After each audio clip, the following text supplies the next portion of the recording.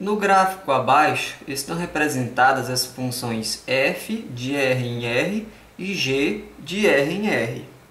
Sobre estas funções, é correto afirmar que, aí você tem os itens. No item A está escrito assim, g de x sobre f de x é menor ou igual a zero para todo x real, tal que x seja maior ou igual a zero e menor ou igual a d. Esse item é errado. Vou justificar. Ele está dizendo que para todo x real entre 0 e d, g de x sobre f de x vai ser menor ou igual a zero.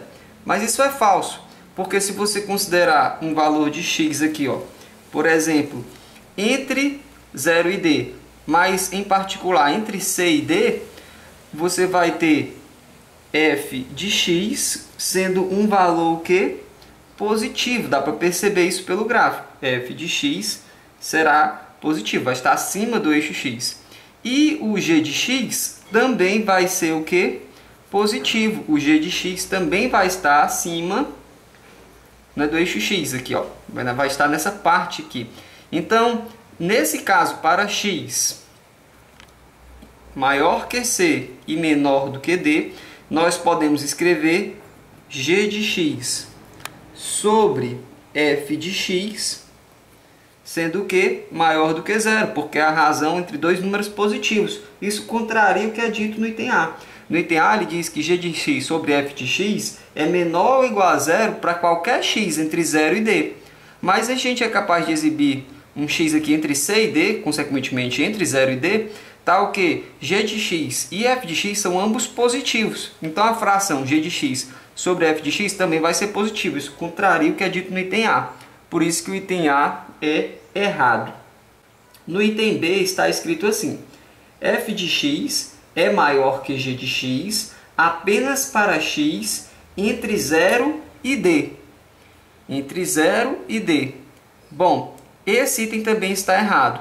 Porque se você considerar aqui, ó, para x menor do que a, se você considerar x menor do que a, você percebe que o gráfico aqui da função f ó, vai estar acima do gráfico da função g. Então, se você considerar um x aqui ó, menor do que a, você vai ter o f de x bem maior do que o g de x. Então, se x for menor do que a, então f de x vai ser maior do que g de x. Basta você considerar um x aqui ó, menor do que a. Por exemplo, ó, se você pegar um x bem aqui, o f do x vai estar acima do g de x, certo?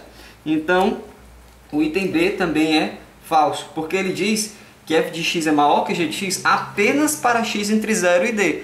Isso é errado, porque se eu pegar x menor do que a, né, a gente observa que o f de x vai ser maior do que o g de x.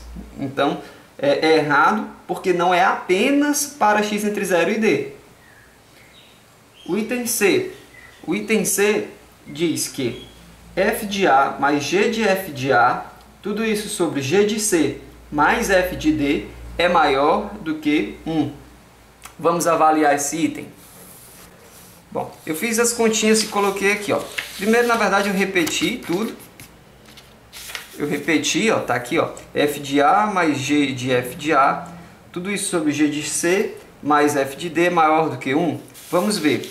Ah, no gráfico, nós observamos aqui que f de A é igual a zero, porque o ponto com a abscissa A é um ponto onde o gráfico da f corta o eixo x. Isso significa que f de A vai ter o que? Vai ser o que? Vai ser igual a zero, porque a ordenada desse ponto é nula. Então, f de A é zero. Então, já substituí aqui, ó, f de A, aqui eu coloquei zero, e g de f de A vai ser g de zero, portanto. E g de C também vai ser zero, porque o ponto de abscissa C aqui, ó, é um ponto no qual o gráfico da g corta o eixo x. Então, a ordenada dele é nula. Então, a gente já pode substituir bem aqui, ó, g de C por zero ok? E f de d, bom, vamos pensar um pouco, né? É, esses caras são nulos, então eles não vão influenciar, vai ficar só o que? g de sobre f de d. Ele está dizendo que é maior do que 1. Se você considerar que o f de d, tá certo? Vai ser um número positivo, certo? Vai estar tá lá em cima. Ó.